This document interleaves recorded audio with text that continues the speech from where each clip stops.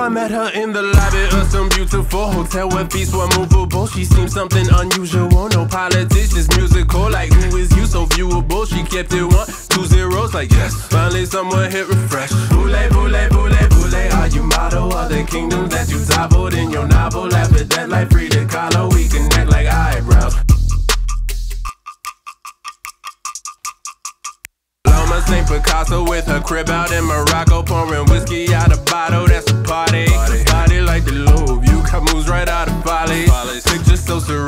party feel like it was Dolly. Yeah.